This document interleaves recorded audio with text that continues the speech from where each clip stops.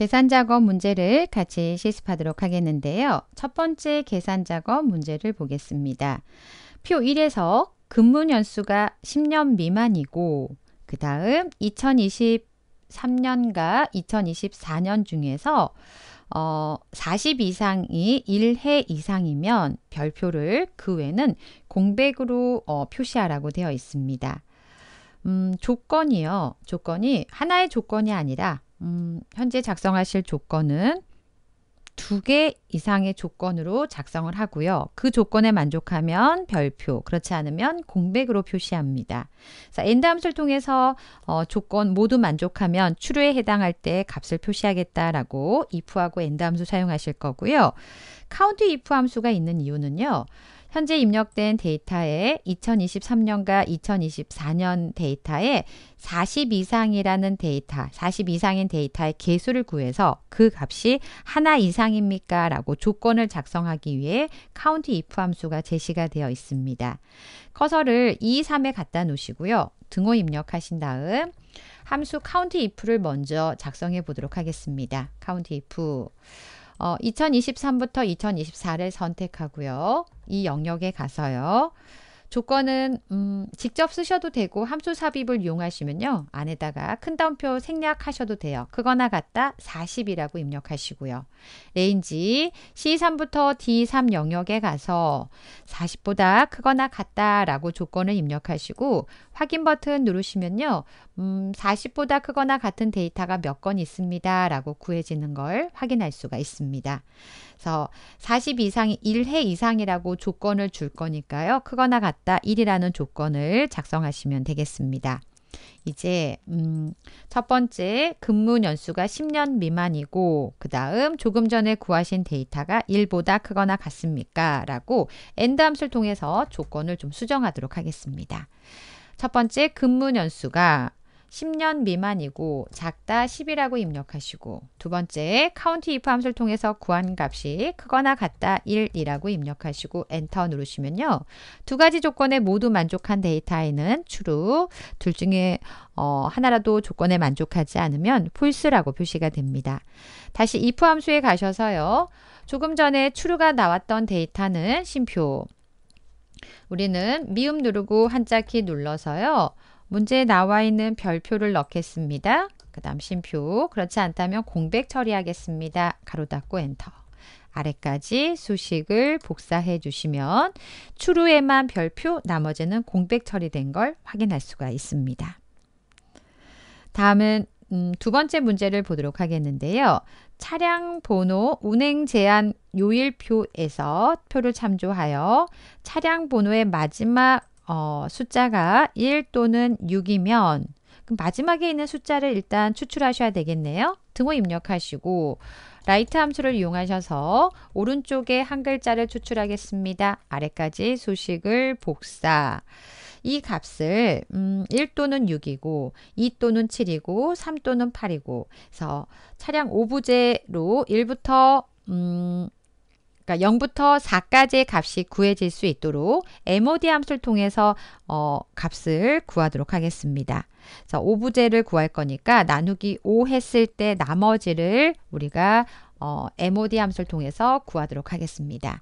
차량 번호의 오른쪽 끝에 한 글자를 가져왔는데요. 그 값을 5로 나눴을 때 나머지를 구하고자 합니다. 아래까지 수식을 복사. 그럼 0부터 4까지 어, 나머지가 표시가 되었고요. 이제 이 값을 오른쪽 음, 운행 제한 요일표 첫 번째 열에 가서 찾고 두 번째 열에서 데이터를 가져오겠습니다. 라고 수식을 수정하도록 하겠는데요. 등호 다음에 갖다 놓고요.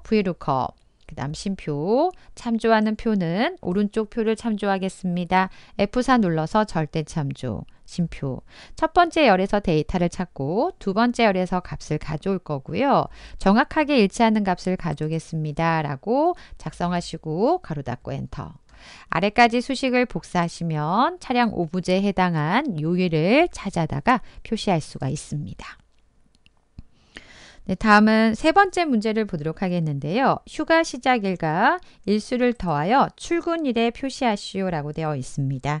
workday 함수를 이용해서 음, 출근일을 표시하도록 하겠는데요.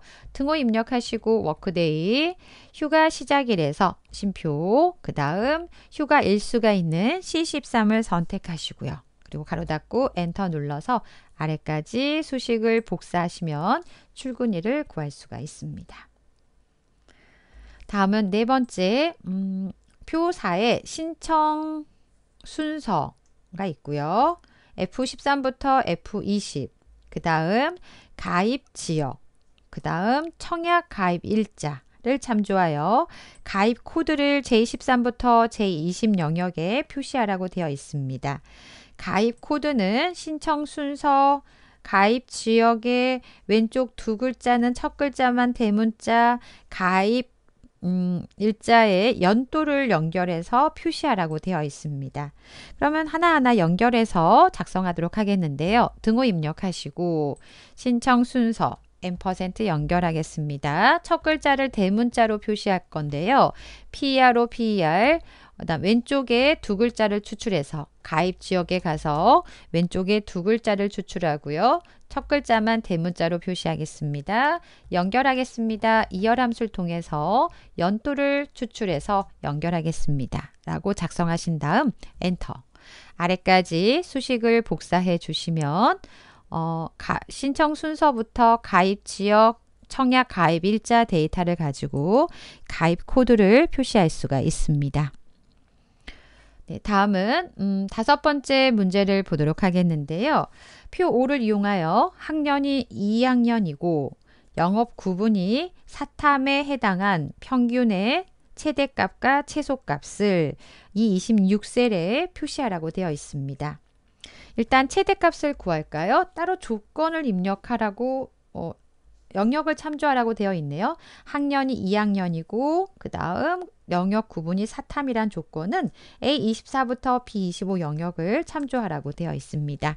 최대값을 구하기 위해서 Tmax 그 다음 데이터베이스 제목을 포함한 모든 데이터들 중에서 필드는 평균의 최대치를 구하겠습니다. 조건은 아까 A24부터 B25 영역을 참조해서 구하신 값 뒤에다가요. 연결하겠습니다. M%큰 따옴표 문고 가로 열고요. 최저라고 입력하시고 다시 한번 n% 최소값을 구해서 표시하겠다. d민이라고 입력하시고 아까처럼 데이터베이스 필드는 평균, 조건은 학년과 사탐이 들어갈 수 있도록 확인 버튼 누르시고요.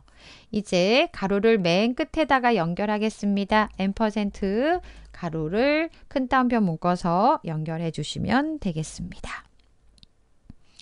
다섯 문항의 계산 작업 문제 살펴보셨습니다.